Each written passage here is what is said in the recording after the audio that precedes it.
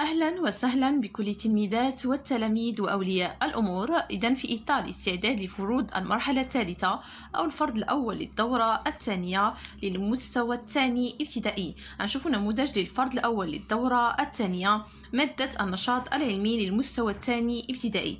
إذا نموذج على شكل بي دي اف في الوصف.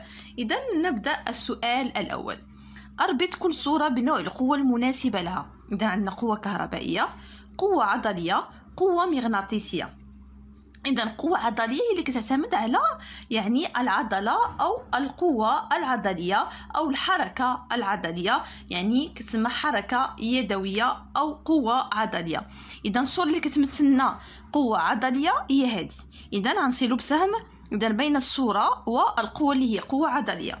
اذا قوة كهربائية ما كتخدمش شي آلة شي ماشين عندك في الدار باستعمال الكهرباء كتسمى هذاك هنا كنخدموا قوة كهربائية. اذا الصورة اللي كتمثلنا قوة كهربائية هي هاد الآلة ديال الطحن. اذا هنا قوة كهربائية. غنمشيو قوة مغناطيسية التي تعتمد على المغناطيس اللي كيجذب الحديد. اذا تمثل هاد الصورة. اذا قوة مغناطيسية. اذا قوة عضلية قوة مغناطيسية قوة كهربائية. اذا ننتقل إلى السؤال الثاني. اكتب اسم كل جزء داخل إطاره. اذا هنا عندنا نبتة. اذا نحاولوا نحدوا مكونات هذا في درس النباتات. مكونات يعني الأسماء. اذا هادو شنو كيتسموا كيتسموا أوراق. اذا نكتبوا أوراق. اذا نكتب الأوراق ولا أوراق. اذا أوراق النبتة. أشنو كيتسمى هذا؟ الساق. اذا نسميه الساق. اذا نكتب الساق. الساق. وهادو الجذور لي غاسين. الوغ هنا نكتبو جذور أو الجذور. الجذور. اذا أوراق. اذا الساق الجذور. إذا ننتقل إلى السؤال الثالث. إذا السؤال الثالث ألون النوع المناسب لكل الصورة. إذا نلاحظ الصورة وهنا اللون الاختيار الصحيح. إذا نلاحظ الصورة الأولى. إذا إذا غنمشيو بالنسبة الصورة الأولى كتمثل التفاح. إذا واش هو نبات تلقائي ولا نبات مزروع؟ ما معنى نبات تلقائي؟ يعني كينوض منه راسو. يعني بلا ما كيزرعو الإنسان. ولكن هذا التفاح فهو نبات مزروع. إذا هنا اللون نبات مزروع. إذا نبات ما مزروع. ننتقلوا إلى الصورة الثانية. إذا هذا واش كيتسمى؟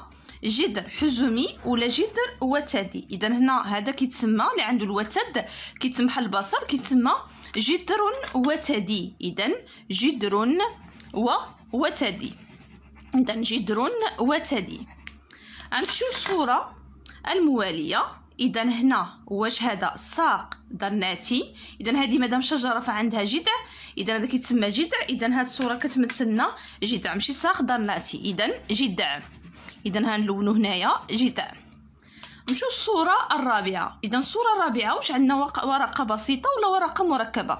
كما كتشوفوا هاد الورقة عندها بزاف التفرعات. إذا هذه ماشي بسيطة. إذا بسيطة راه كتكون عندها غير واحد التفرع كتكون بسيطة. إذا هذه ورقة كيف هي؟ مركبة. ورقة مركب مركبة. إذا نعيد. نبات مزروع. يزرع. إذا من طرف الإنسان. إذا ما كيكون هنا الوتد كنسميه جذر وتدي. هنا ما كيكون عندنا الجذع. شجرة كنسميها جذع.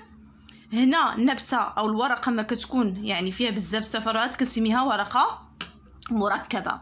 إذا ننتقل إلى السؤال الرابع. أضع علامة إكس في خانة الجزء الذي يؤكل.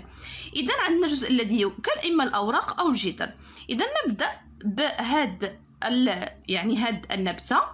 اذا هنا واش تؤكل الأوراق أو الجدر. اذا هذا جدر وهذا أوراق. اذا كما كتعرفوا الفجل. اذا شنو كناكلوا له ما كناكلوش هاد الأوراق كناكلوا الجدر ديالو. اذا الجدر الجدر يؤكل. اذا الجدر بحال هادي جدر جدر. اذا هذا الجدر يؤكل. نمشيو للجزر. الجزر عنده الأوراق وعنده الجدر. واش كناكلوا الأوراق؟ لا. اشنو كناكلوا كناكلوا الجدر. غنمشيو للخس إذا الخس كناكلو له الأوراق ما كناكلوش له الجدر. إذا هنا تؤكل الأوراق. غنمشيو لهاد النبتة اللي هي بحال اللفت.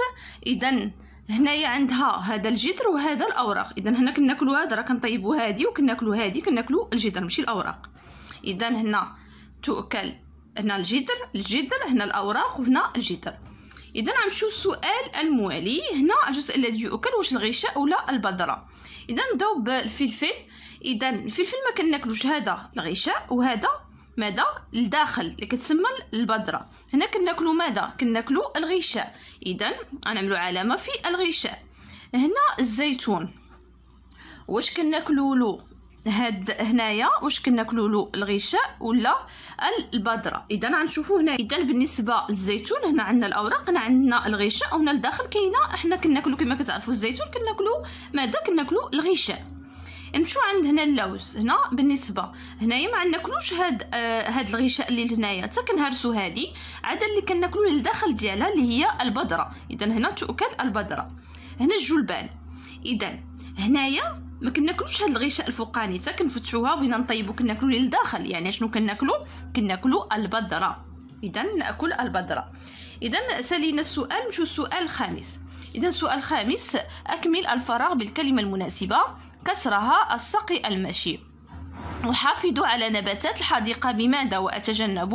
ماذا؟ إذا أحافظ على نباتات الحديقة بماذا؟ بالسقي. إذا خاصني نسقيها باش تكبر. إذا باش تنمو. إذا أحافظ عليها بماذا؟ بالسقي. وأتجنب ماذا؟ كسرها. يعني نهرسها. إذا كسرها. واقتلاعها وماذا والمشي فوقها. خاصني مثلا لقيت النباتات خاصني ما نمشيش فوق منهم خاصني نحافظ على النباتات. اذا أحافظ على نباتات الحديقة بماذا؟ بالسقي. وأتجنب كسرها واقتلاعها والمشي فوقها. اذا كان هذا هو التصحيح ديال النموذج. نتمنى نكون فتكم. شكرا وإلى اللقاء.